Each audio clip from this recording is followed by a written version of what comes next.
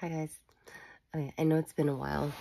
Um, a lot has happened since I made my last video, but Spirit just woke me up at 3 in the morning and I just, instead of writing it down, I thought I'd just make a video. Okay, um, so, who, who the is the benevolent covert narcissist? Who's that? I'm gonna tell you that is most likely a friend, okay? Most likely not a romantic partner, all right? But after you get rid of like the overt narcissist in your life, right?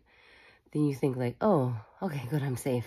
I'm safe. I got my support system and and then you find out oh, there's there's more narcissists. Okay, so that's what actually that's what I've been doing for the past I don't know, four months that I've been offline. Okay, this is like the next level. I've been, I've been encountering covert narcissists. And it's pretty cool. I mean, pretty cool. You know, that's, but like, from a bird's eye perspective, it's like, it's like, oh, neat. Like, more lessons, whatever. Anyways, so benevolent covert narcissist okay, is someone, someone who sees you and recognizes that you are someone who carries light, okay? You're you're attractive, you're smart, you have a lot of untapped potential, okay? But they see that you shine. But they also see that all the hard work has been done, okay? Somebody's already groomed you, molded you into the perfect um the perfect supply. Okay? Like, you're the perfect, like, source for energy. All they have to do is stand next to you and, like, plug in. And you, you are already someone who's been groomed to give your power away. Okay? You already dim your own light. They don't have to do anything. All, literally, all they have to do is stand next to you and harvest your energy. All they have to do is stand next to you and they're already better than someone. Okay, they already look like um prettier, smarter, more confident than you. Okay, so they don't have you do you already do the hard work for them, so they just slide in there, and it doesn't look like they're being abusive, like because technically technically they're not right. Okay, so you are already conditioned to be supply and they are already established as someone who takes supply. So you fit, you, you already fit together like a hand in glove. Okay, so they can, they can, you know, they're probably like a charitable narcissist too, right? They do things to make themselves look good. Like they care about what other people think. Um, they, they just want to appear like charitable, like, oh, I rescued this bird, I'm such a good person. Or I, you know, I rescued you. Like, and, and my covert narcissist rescued me many times, many times, okay? Um, at the time, our relationship wasn't toxic because I was, like I said, I was already someone who dimmed my own light. I gave this person my power. I said, here, here you go. Here's my power. I don't, I don't know what to do with my power. I don't know what to do with how smart I am or how pretty I am. But here, I'm going to give it to you, give you my energy, and you go ahead and be the smart and pretty one. Okay? So that's what I did with this person. My whole life, basically. We met in high school. So when I started elevating and when I became, started gaining confidence, realized my own light and started refusing to dim it, she she started going all haywire. Okay, this person started like losing her shit. And so okay, so after after you start healing, right? All these these covert narcs who you didn't know were narcs, right? Because they're probably the people who's who helped you, who saved you, who were like, "Oh, Kristen, we just want you to get on your feet," right? And because it makes them look look so good. Like they're such good citizens, which not gonna lie, okay? They do love you. They probably love you in their own way. Um, but after you're healed, they don't fit into your life anymore because they need you, even though they're helping you, right? Because of course they love you and they don't want you to die at the hands of an overt narcissist, right? So I, I have mixed feelings about these people, but I'm not gonna, like I said, I'm not gonna lie about what happened. I, we went through the part where they saved me. This person, this particular person, I paid her back, like, in money, okay? I gave her lots of money, and I don't feel bad about, like, having to step away from her when she started impeding my growth, okay? But damn fucking ADHD. I just lost my train of thought. Um anyway, the covert benevolent covert narcissist, right? They seem kind. They seem like they care about you so much. And maybe they do, okay? Human beings are complex. All I know, though, is once I started being healed, once I started being confident, once I started to know what direction I wanted to take my life in, once I started to not be the supply that they once knew, um, it started to be a problem, okay? Um, I, I would come out, I would come out the gate all like confident and, you know, and they start looking at you like, what the are you doing? Why are you being confident now? Why are you not letting me tell you what to do? Why are you not letting me control you? Because, okay, narcissists, the thing covert narcissists and overt narcissists have in common is that they need to control everything. Okay, they need to control their environment.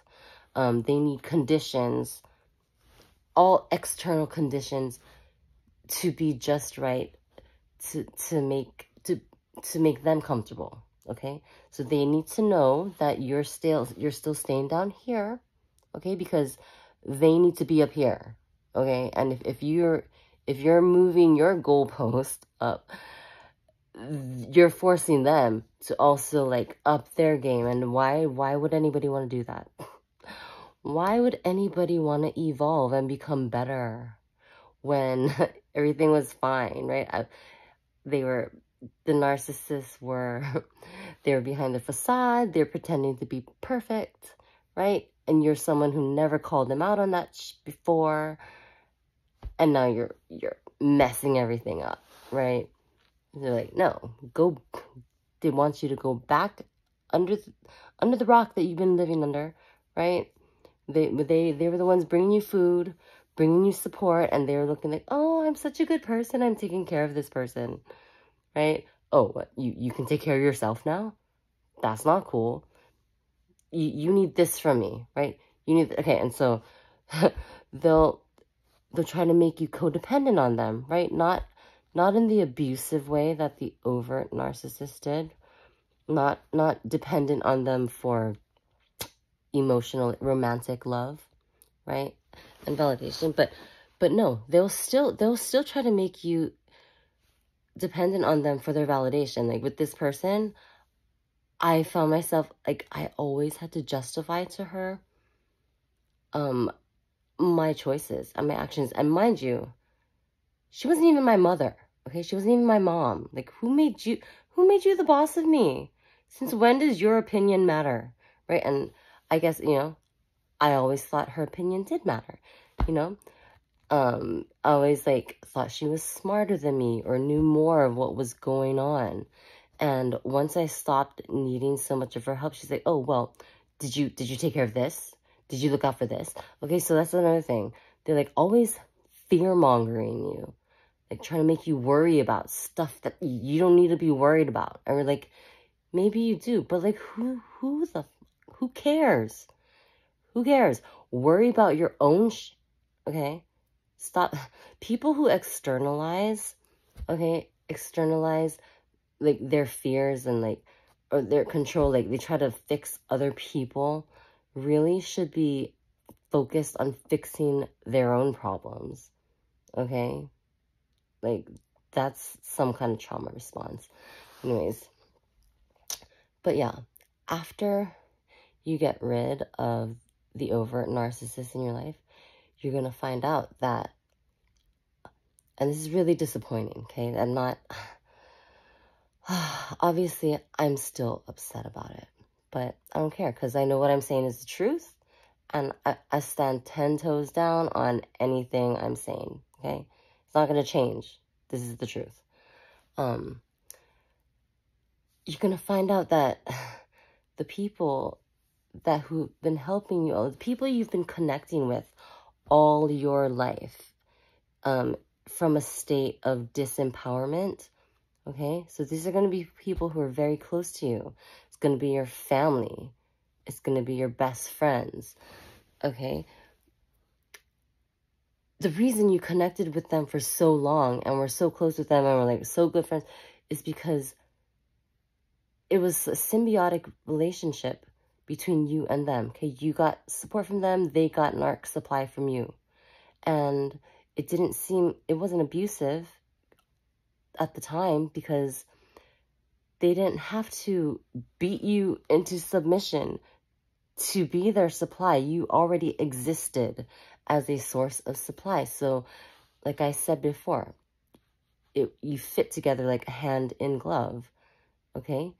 Um, and it, it seemed like oh, we, we click, we get along so well, the chemistry is so great. We fit together, right? They're there, so it wasn't, you know, wasn't technically abusive, all right? You guys just fit, and it seemed to flow. So, but that's why you're in your disempowered state. So when you become, you step into your power, and um, you start to change and elevate, you're taking away their source of supply. So then you're going to start smoking all the all the narcs out. You're going to find out like, whoa, this has been a toxic dynamic, right? I've been giving you my power this whole time. And now that I'm taking it back, it's a problem.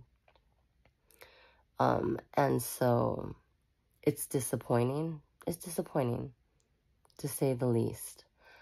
Um, but what I would recommend, okay, and I'm not a psychologist, I'm just someone who's experienced this. So this is just, you know, make your own decision on this too. Okay, anyone who forces their their opinion on you is a fucking narc. I don't care. I don't care. Okay, I'm not a psychologist, but that's what I say. Um, because you got some kind of problem if if you have a problem if people don't take your advice or people don't people don't like you know, let you control them. Like, dude. I mean, I could get into it, but um, I'm not going to. Um, but yeah, it's disappointing. But in my experience, my life gets better and better the more I smoke these mother out. Okay? When I when I drop the dead weight of it of another like narc I've discovered in my life, my life goes like this. I become like way more powerful. My manifestations come in like that. Okay? And not to mention like spiritual gifts. You know, like I'm I'm like I'm one with the divine right now, okay? I not even gonna lie. We're gonna talk about we're gonna talk about spirituality later, but um yeah. Get rid of the covert. I mean, if they if they choose to take it upon themselves to elevate after okay you know i gave i gave all the narcs in my life a fair warning. I said look i peep you doing this shit okay? I see you doing that. They all do this. They all do the gaslighting thing. They're like no i'm not doing that. I'm not doing that. No you're tripping. Oh yeah i'm tripping. Okay bye bye um, if they take it upon themselves to heal themselves, okay, and come back, come back to me as an empowered person in their own right, okay, not trying to take my power away from me, um, then we can be friends again. But honestly, like, I would not trust this particular one again because, like, you can't trust envious friends, okay? You just can't. An envious friend is worse than an enemy. They're trying to undermine you at every turn. And, okay, it's insidious. Insidious. I said it. Um, but yeah, so watch out for the covert narcissist in your life. I say get rid of them, but, you know, do what you got to do to elevate. Okay? All right. I love you guys. Um, I'll see you in my next video. Bye.